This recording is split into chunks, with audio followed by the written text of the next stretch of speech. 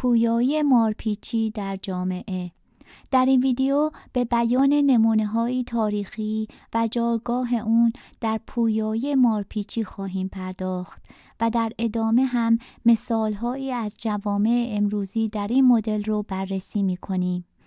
این ویدیو نشون خواهد داد که روند تکامل جوامع روندی طبیعی، معین و پیوسته است. برای مثال شما نمی‌تونین از سطح اقتدارگرایی سلطنتی به سطح دولت رفاه جهش کنین. بلکه قبل از اون باید سطوحی طبیعی بین اونها از جمله اقتدار دموکراسی و سکولار دموکرات رو بپیمایید. قبل از شروع ویدیو دو نکته قابل ذکره. شکل روبرو نمونه هایی از توضیع تکامل افراد که شکل دهنده تکامل جامعه است رو در آفریقای جنوبی، آمریکا، اروپا و کشورهایی نظیر آفریقای مرکزی و کل جهان رو نشون میده. در همه جوامع و کل دنیا این منحنی ها توضیع طبیعی دارند که در آنها تعداد زیادی از افراد در یک دو یا سه سطح و تعداد کمی در حدود بالا و پایین قرار می گیرند. بنابراین عبارتهایی مانند دموکراسی مذهبی یا سلطنت رفاه طلب مفاهیمی انتظاعی بوده و وجود خارجی ندارند. تکامل فردی همیشه به سمت بالاست به این معنی که کسی که از این سطوح بالا رفت دیگه به پایین باز نمیگرده اما یه جامعه ممکنه با مکانیزم هایی مانند مهاجرت افراد، کنار زده شدن افراد لایق، جایگزینی با نسل جدید، آموزش و پرورش نامناسب و عواملی از این قبیل سقوط کنه. اگه علاقمند به جنبه های فردی و تفاوت بین انسان ها در رفتار، جهانبینی و ارزش های فردی هستید پیشنهاد می کنم ویدیو قبلی ما رو ببینین.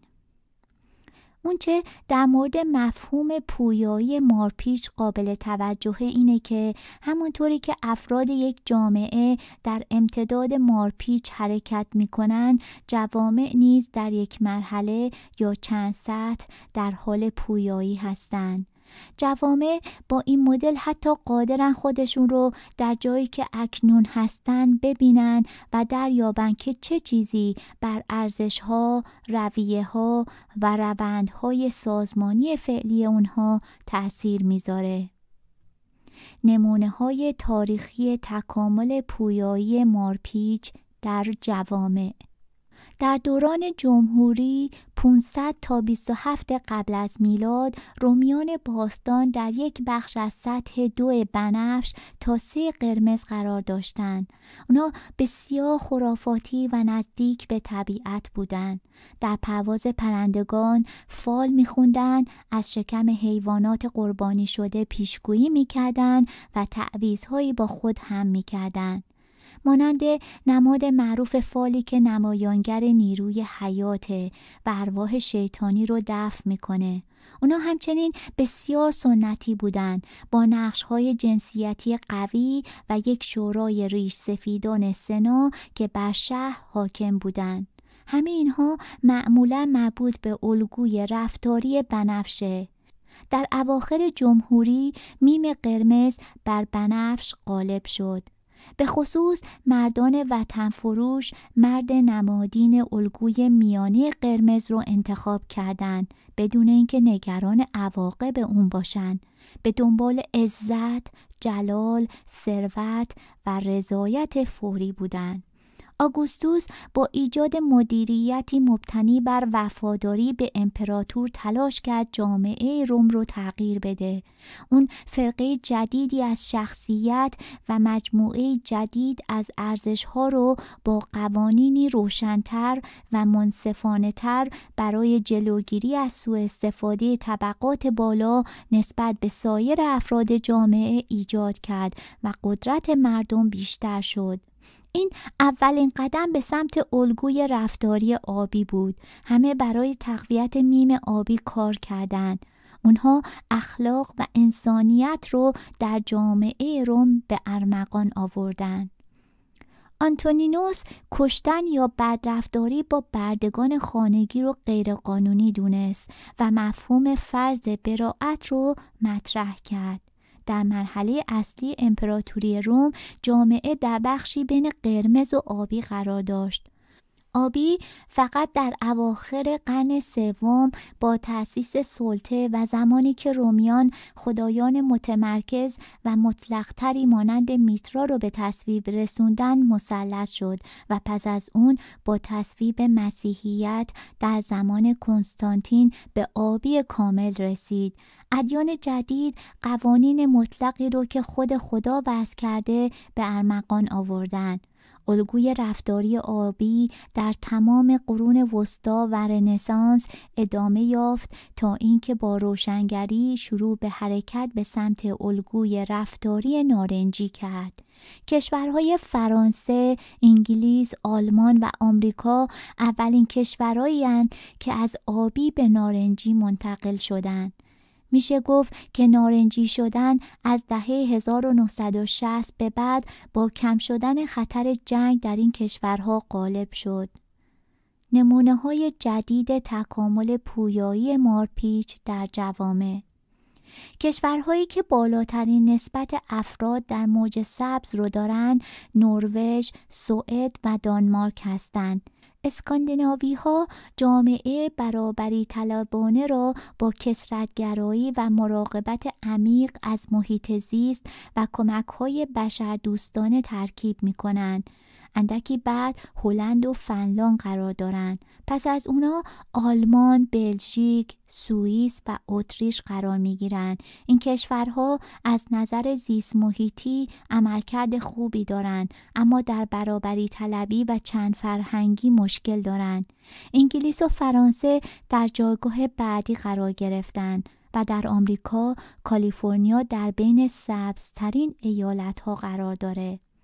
در ایالتهای دموکرات نسبت بالاتری از مردم در مراحل نارنجی سرمایهداری و فردگرایی و سبز چند فرهنگی برابری طلبانه و اکولوژیکی هستند. در حالی که در ایالتهای جمهوری خواه و به خصوص در جنوب آمریکا هنوز هم به طرز چشمگیری در الگوی رفتاری آبی، دین، قانون و نظم قرار دارند.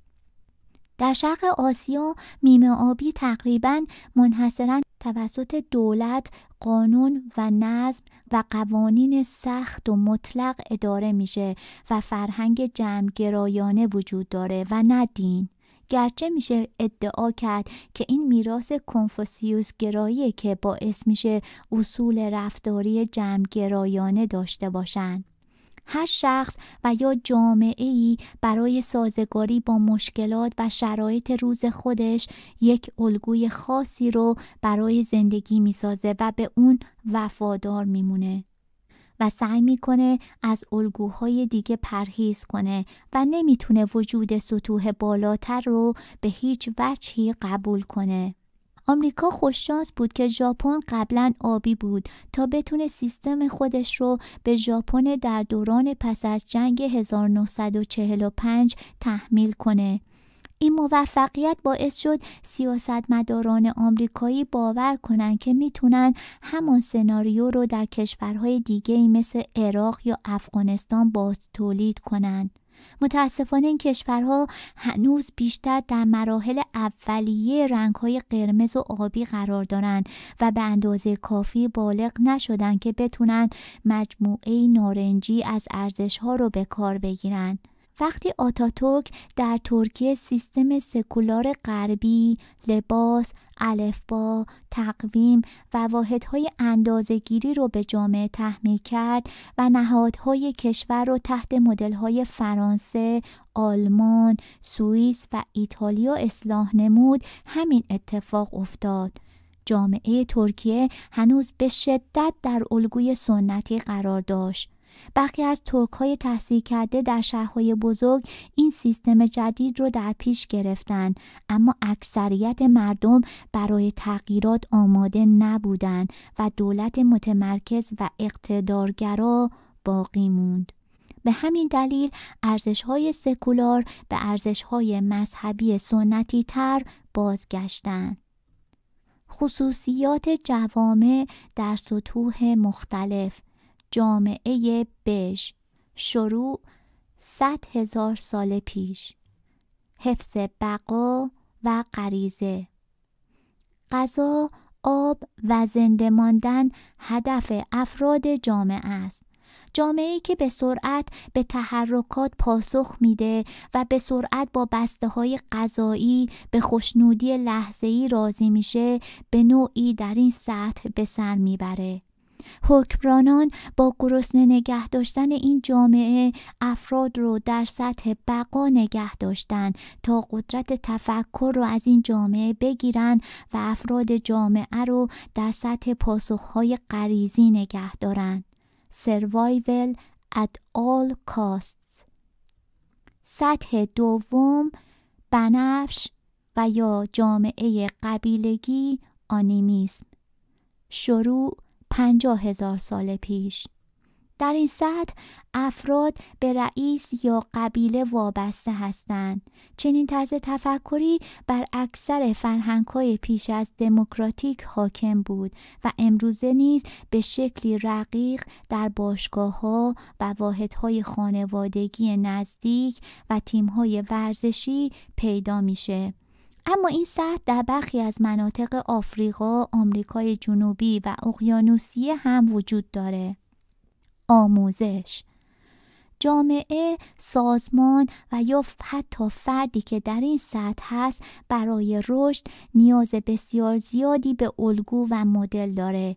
برای این گروه باید از اشکال، موسیقی، تصاویر و نقاشی استفاده بشه که سطح علاقه و توجه اونها رو بالا برده و یادگیری بهتر انجام بشه. این آموزش ها باید به صورت مرتب و مداوم باشه تا یادگیری به سطح بالاتری رشد کنه و ذهن و تفکر فرد توانایی ارتباط گیری با کلام و نوشته رو حتی بدون تصویر پیدا کنه. باید آموزش متنوع و آهنگین باشه و رنگ ها و ملودی ها با نگاه بومی اون جامعه مطابقت داشته باشه تا فرد و جامعه با لنگر انداختن به این تداوم به یک شناخت بالاتری دست پیدا کنه. برای رشد این آدما باید از زبان خودشون استفاده بشه نمادهای خودشون به کار گرفته بشه و آموزش توی زندگی فردیشون ملودیوار وارد بشه تا ملکه ذهن و عادتشون بشه. این آدما بهترین تاثیر رو از رهبر جامعه و یا مدیر گروه و یا معلم کلاسشون که الگوهاشون هستن می‌گیرن. هر چیزی که می‌خواین به اونا یاد بدید باید سعی کنید که از زبون همون نماد و الگو باشه. برای همین توی قبیله و یا جامعه ای که توی این سطح مونده باید اول سمبول ها و رهبران خوب و قدرتمندی رو پیدا کنین. اگر شما بتونین الگوهاشون رو آموزش بدین بقیه هم از اون الگوها پیروی خواهند کرد. سطح سوم قرمز. I want everything and I want it now. من تمام توانم رو می‌گیرم و تنها چیزی که مهمه اینه که گرفتار نشم. شروع ده هزار سال پیش. جامعه فردگرا استثماری. مردمی که در جوامع دیکتاتوری زندگی می کنند آدمایی که توی آمریکای جنوبی زیر دست باندهای مواد مخدر هستند خانواده هایی که در جای جای دنیا در سطح مرز سالاری و یا زن سالاری زندگی می کنند و همچنین کشورهایی که در حال جنگ مثل سوریه هستند این تجربه رو دارند همچنین کشورهای نظیر کنگو و زیمبابوه که نخبگان خودشون رو به عقب میرونن و کنترل کشور رو به عدهای کم سواد و تک حزبی میدن در این سطح قرار گرفتن. این سوء مدیریت ها باعث میشه افراد تحصیل کرده و دارای مهارت های اساسی کشور رو ترک کنند. این کشورها به دنبال وخامت اوضاع سیاسی و در نتیجه وخیم شدن امنیت و کمبود آموزش و خدمات بهداشتی دچار مشکلات بنیادی شدند. رنگ قرمز بیشتر در جوامع محروم، افراد فقیر با تحصیلات پایین و حاشیه نشین ها دیده میشه. اونها در باندهای خیابانی و مافی ها پیدا میشن اما همچنین افرادی که مایل به قهرمان سازی های ورزشی، هنری و ستاره های سینمایی هستند هم در این طبقه قرار می‌گیرند. دیدگاه افراد، سازمان ها و حکومت های از این دست دنیا رو پر از پرخاشگری، خشونت و خودخواهی می بینند و اونها در روش ها و موازین و قراردادهای درون گروهی بر همین اساس عمل کرده و حفظ آبرو و منش و اخلاق اصلا بین اونها جایگاهی نداره. و سازمان و جامعه تنها بر اساس قدرت های درون گروهی حفظ و هدایت میشه. در این نوع سازمان و جامعه تنها راه رفع نیازهای اولیه بر اساس قدرت تعریف میشه. هر رئیس و رهبری تنها به صرف کسب این عنوان رفته رفته بر دامنه قدرت خودش اضافه می‌کنه. تعریف سلسله مراتب و جایگاه افراد در جامعه و سازمان تنها با رأی یک نفر انجام میشه. و کسی قدرت انتقاد و یا سوال در این نوع حکومت و یا سازمان رو نداره. رهبران و مدیران این چنینی عذاب وجدان ندارند زیرا که امنیت و بقا در سازمان و مردم رو حاصل تلاش های خودشون می‌دونن و بر این اعتقاد هستند که اون ملت و یا کارمندان باید مرهون خدمات اونها باشند. متاسفانه کارمندان و افرادی که در بلند مدت در این نوع سازمان ها کار و زندگی می کنند هیچگاه فرصت تفکر انتقادی و اندیشه ای هم ندارند و باورهای داده شده را میپذیرند. ساختار سازمانی این طبقه از نوع امپراتوری و سلسله مراتب قوی از بالا به پایینه که قدرت ساختار روابط رو تعیین می‌کنه. تا زمانی که شما تحت نظارت باشید کار انجام میشه و هر کسی فقط به فکر مزیت خودشه. منش و رفتار در این طبقه بی اهمیت و رئیس تنها باید زیر دستان خودش رو به قدرت خودش متقاعد کنه. آموزش. آموزش این طبقه تنها با دادن جایزه، کپون و سیستم پاداشی امکان پذیره و موفقیت باید سریع باشه. اگر جامعی به عنوان مثال در سطحی دیکتاتوری در زیر ماسک دینی گردانده میشه و فساد جامعه رو گرفته به خاطر اینکه حکمرانان توانایی گرداندن جامعه رو نداشتن و قاضی و پلیس در فساد فرو رفتن و آموزش کارآمدی خودش رو از دست داده این جامعه بعد از گذشت یک نسل به سطح قبیله‌ای سقوط می‌کنه. زیرا حتی اگر اکثریت به اتفاق افراد جامعه از حکرانای خودشون دلزده شده باشند از اونجایی که آموزش کودکان و نوجوانان کشور نادیده گرفته شده این جامعه امکان رشد به مراحل بالاتر رو نخواهد داشت. در این جامعه اقلیت نارنجی به خاطر گیر کردن در دوگانگی ها به اکثریت فاسد شده خواهند باخت و جامعه دوباره به بنفش می‌رسه. سوریه و لیبی مثال هایی از کشورهایی که از مارپیچ پویا سقوط کردند. و افغانستان از بعد از 11 سپتامبر 2001 یکی از کشورهایی که تا یک دهه با سیستم ترکیبی قرمز و بنفش اداره شده. سطح چهارم آبی شروع پنج هزار سال قبل. جامعه مطلقگرا مقدس. زندگی معنادار است. پس بدان که به دلیلی اینجا هستی. این یکی از مثبتترین نگاه ها در این نوع سیستم هاست. در حال حاضر بیشتر جمعیت آمریکا توی این طبقه ایستادن افراد این نوع سازمان و یا جامعه به جبر اعتقاد شدیدی دارند و عالی ترین دستورات اطاعت مجازات و حفظ سیستمه و گام ضروری در شکلگیری یک جامعه منظم و مترقی در بین کشورهای در حال توسعه است. در فرهنگ های ناب می‌تونیم این نوع رو در ادیان اعتقادی، نظام های فلسفی و سیاسی مطلق گرایانه پیدا کنیم. همچنین به ویژه در سلسله مراتب نظامی و مذهبی بسیار مشهوده. این سازمان ها و جوامع بر اساس گرفتن پاداش و دوری از رنج، گناه، جریمه و یا حتی احساس گناه مدیریت میشن. پیروان این نوع سیستم سازمانی و جامعه نگران کوچکترین تغییرات هستند و شدیداً وابسته به ثبات گذشته و حفظ اون در زمان حالن. و اون رو با ایجاد قوانین و رعایت مقررات و پیروی از اون انجام میدن. از اساسی ترین اصول این نوع سازمان ها بخشناسی، وفاداری و پیروی دقیق از دستورالعمل هاست. آموزش، باور، اعتقاد، سنت. سطح پنجم نارنجی شروع 300 سال پیش جامعه کسرتگرا مادیگرا شرکت های بزرگ سرمایه گذاری و قسمت عمده ای از جمعیت اروپا و همچنین جمعیت کثیری از مردم آمریکا در این طبقه هستند.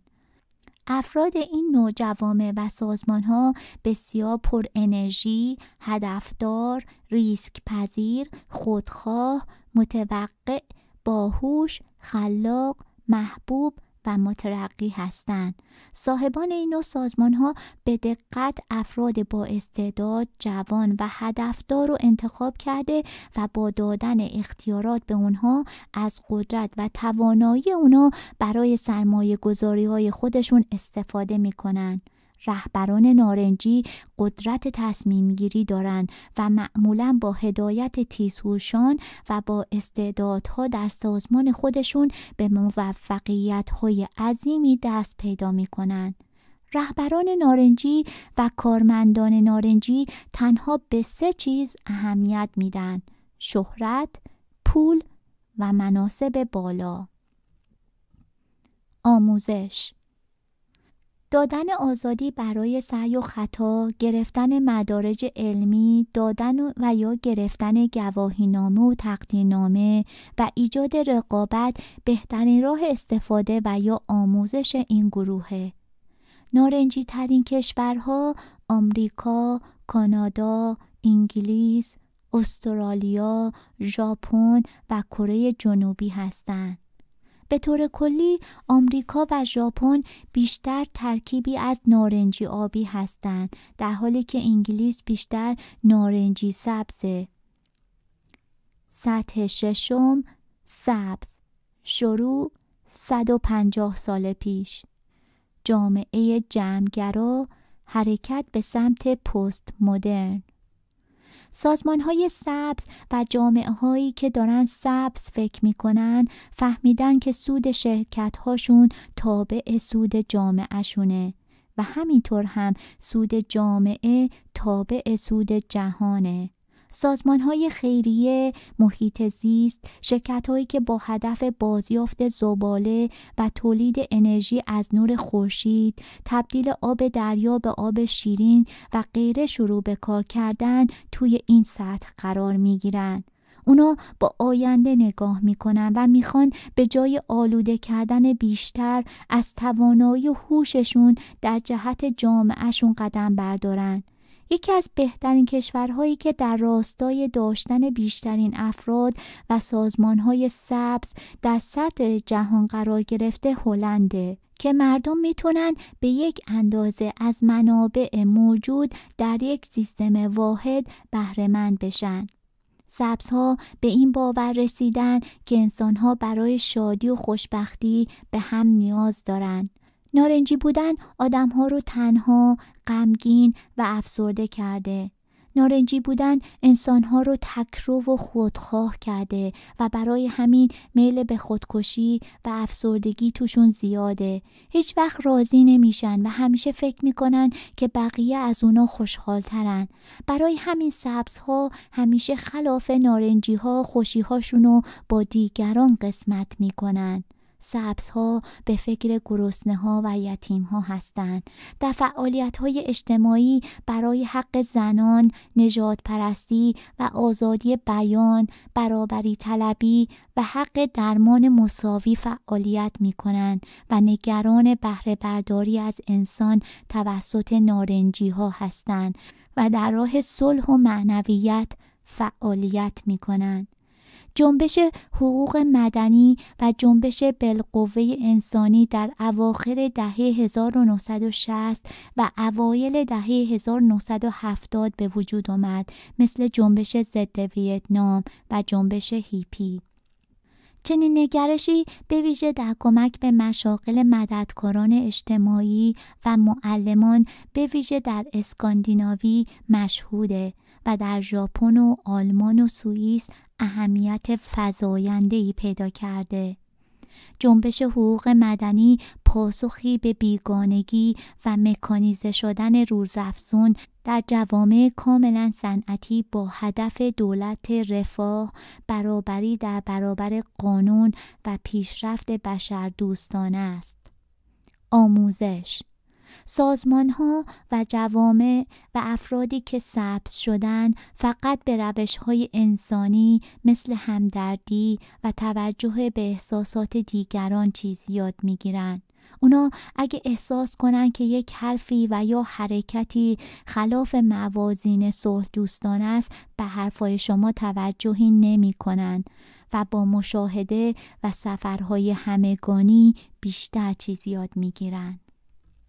سطح هفتم زرد جامعه سیستمی پست مدرن شروع پنجاه سال قبل زردها همون نگران های توانایی هستند که قدرت تصمیم گیری های بزرگ دارند. مدیر، متواضع، multitasking و با تجربه هستند. ارتباط های خوبی دارند و از سلامت روح و روان و جسم و هوششون در جهت اهداف انسانی و سیستماتیک برای حل مشکلات بزرگ جهانی کمک می‌گیرند. اونا نه تنها ایده های خوبی دارند که می‌تونن آدم ها رو با اون ایده های جدید و نو تجهیز کنند. و زمینه تغییرات اساسی رو در جهان به وجود آوردن. اونا صاحب تئوری هایی هستن که با اونا میشه دنیا رو به سمت بهتری سوق داد. اونا همیشه توانایی دیدن ریشه مشکلات رو دارن و این اونا هستن که در حقیقت اولین خطی مش رو به سبزها ارائه میدن. از خصوصیات روانشناسی این افراد اینه که نتیجه کاره که اونا رو راضی می‌کنه اما اونا دوست ندارن بیش از حد مورد ستایش قرار بگیرن یا شناخته بشن. اونا برای دستیابی به حقوق خودشون می جنگن. اما این افراد فاقد فشارهای درونی هستند و می‌تونن از زندگی لذت ببرن. تمرکز اونها بر انعطاف پذیری و شایستگی فردی، انگیزه شخصی و تحمل پارادوکسه. آموزش آدمای زرد نیاز دارن که یک دسترسی کاملی به کتابخانه ها و منابع دانشگاهی داشته باشند. سرعت یادگیری بستگی به شخصه و اهداف یادگیری غالبا مشخص نیست و رشد افراد بدون محدودیت و بدون ترس پیش میره. رقابت و تمایل به شناخت وجود نداره فراگیران در عوض از اون چه که در دسترسه استفاده می کنند. زردها نیاز به ساعت کاری، ساختار کلاسیک آموزشی و یا رئیس ندارند. اونا خودکارن و حتی برای دور و اطرافیان خودشون ایجاد انگیزه می زردها برای خودشون اهداف آموزشی تعیین می کنند و از هیچ تلاشی برای رسیدن به اونها کوتاهی نمی کنند. اونا اغلب دوست ندارند در کارها با کسی رقابت کنند الا با خودشون. از یادگیری صرفا به خاطر خودش لذت می‌برند و قادرن از اونها در سیستم های بسیار بالاتر و بهتری استفاده کنند. اونا متفکرانی قدرتمندن که قادرن تعداد زیادی رو هدایت و رهبری کنند. سطح هشتم جامعه جهانی پسا پست مدرن تمرکز این نوع سازمان ها و هدف آینده بعضی از کشورها در حال حاضر بقای کره زمین و هماهنگی جهانیه. از حدود سی سال پیش سازمان ها و مدیرانی شروع به این نوع فعالیت ها در جهان کردند. این سطح عبور از مرزهای سنتی بشر و ایجاد شبکه های جهانیه. روش های جدید زندگی به فرد امکان میده بدون زیر سوال بردن منافع کل رشد کنه. بنابراین نیازهای انسان باید با منابع محدود کره زمین سازگار بشه. با این حال فرد برای بازگرداندن کیفیت زندگی یا نظم چیزها یا ایجاد مزاحمت برای اونها خود یا دیگران رو فدا می‌کنه. زیرا که بقای کره زمین بر بقای فرد غلبه داره و می‌تونه خود و یا جمعی رو فدای حفظ کل کره زمین کرد. آموزش تمام زندگی مدرسه است. نتیجه پژوهشگران و جامعه شناسان با کمک این مدل شروع به تغییراتی اساسی در روابط سیاسی و چالش های پیچیده اقتصادی کردند. اونا با توسل به این الگو تونستن تا چالش های کل جامعه را تشخیص بدن و از اون برای آموزش و تربیت مدیران کلیدی بهره بگیرند. اونا تونستن برای اختلافات بزرگ جهانی از انگیزه ها، روش ها و چگونگی مطابقت اهداف خودشون برای رسیدن به یک پایداری سیاسی در بسیاری از نقاط جهان کمک ببرند.